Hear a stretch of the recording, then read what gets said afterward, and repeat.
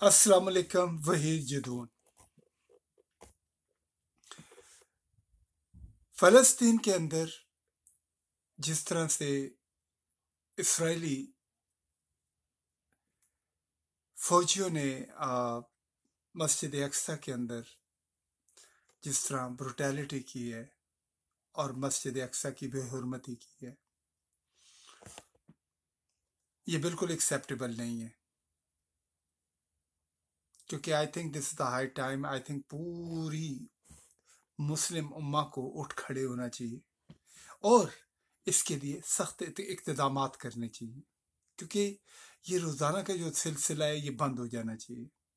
लेकिन सबसे बड़ा अफसोस का मुकाम ये है कि जो गल्फ के ममालिक हैं, जो हमारा लीडर है सऊदी अरब, वो इस मामले के अंदर कभी भी खुल के नहीं बोलता और ना ही कोई इकतदाम करता है।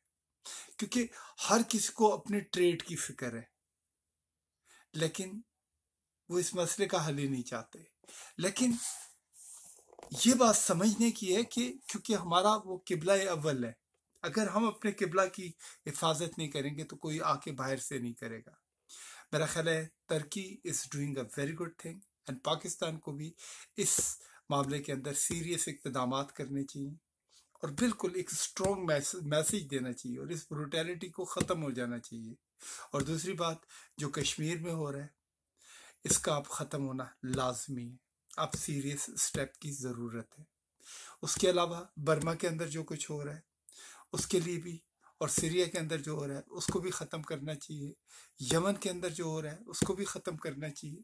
और मेरा ख्याल है कि ये जो इख्तलाफात हैं, हमारे मुख्तलिफ़ मुस्लिम ममालिक के इनके अंदर मेरा ख्याल है सबको बैठ के आ, इन मामला को सुलझाना चाहिए।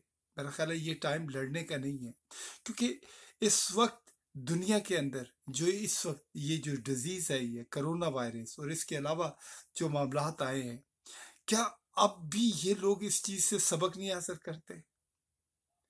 क्या हिंदुस्तान को अब भी ये समझ नहीं आ रही? क्या जब कश्मीरियों पे इतना बड़ा आपने लॉकडाउन किया था, आज आप खुद देखें, पूरी दुनिया लॉकडाउन में है। बिकॉज़ आग कहीं तो पड़ती है ना।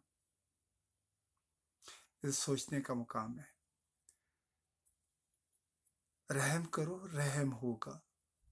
अगर आप लोग अपनी इस ब्रुटैलिटी से, इस चीज़ से बाज नहीं आएँगे तो आपके लिए फिर जब खुदा की रस्सी, खुदा अपनी रस्सी खींचेंगे तो फिर आप लोगों के लिए कोई रास्ता नहीं होगा। और ये उन लोगों के लिए भी है, जो जुल्म देखते हैं और जुल्म के खिलाफ आवाज़ नहीं उठाते। और ये मैसेज तमाम मुसलमान मुल्कों के लिए भी है, जो सिर्फ़ अपने ट्रेड को बचाने के लिए किसी भी इस किस्म की ब्रुटैलिटी की मजम्मत नहीं करते और उसके बारे में कोई स्ट्रॉन्ग मैसेज नहीं देते। ये वक्त है, हाथ में हाथ दें, पकड़े, सीधी बात करें। अमन से रहो यार, और अमन से रहने दो। ये रमज़ान का महीना है, और ये जुल्म, ये बरबरीत दिल को तकलीफ़ देती है। So think about it and do a right thing and I think we have to do a right thing so Allah ji, हमें सीधे रास्ते पर रखे और हम उन, अपने भाइयों का साथ दें और उनके लिए कुछ इकतदाम करें। शुक्रिया अलैक्म